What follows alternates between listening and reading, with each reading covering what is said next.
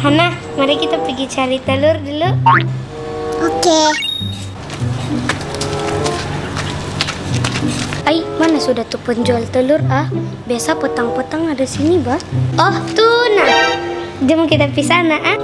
Oke. Bosku, telur harga berapa satu tray? Telur ayam atau telur itik?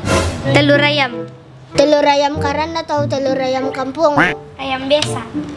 Yang tempatan atau yang import? Ay, yang tempatan lah. Yang dari keke atau yang dari kudat? Aduh, yang dari kudat lah. Mau yang kudat pusat, barat, timur, utara, atau selatan? Bosku, kau ini mau jual telur atau mau jalan-jalan? Maaflah kak, saya nih penjual popia cheese di sebelah situ aja.